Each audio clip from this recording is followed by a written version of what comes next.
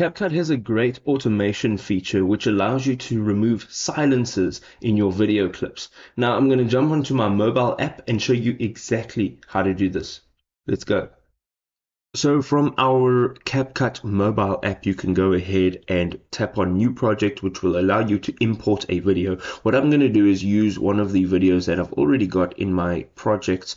And once you're in here, you'll have a menu at the bottom of your page. What you're going to do is look for text and you're going to open that up and from here you're going to look for auto captions.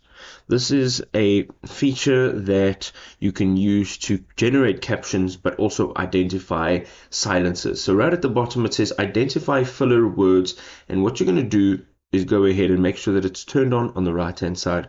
From here you're going to go ahead tap on generate captions and it'll take a few seconds to generate the captions. You can now go ahead and keep the captions if you would like to keep the captions, but you can also go and see that there are labels on your silences and your filler words.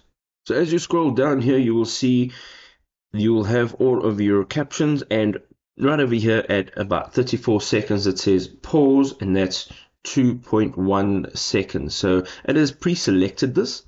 You can see that there's another one and in total that is all that has been selected. If there are more, you can go ahead and select them individually, but for now, we're just going to say delete two clips at the bottom, and here you can say yes, delete both, and those silences will be deleted from the actual video itself. And there you go, folks. No more silences in your videos. If you enjoyed this video, go ahead, drop us a like, and we'll see you next time. Peace out.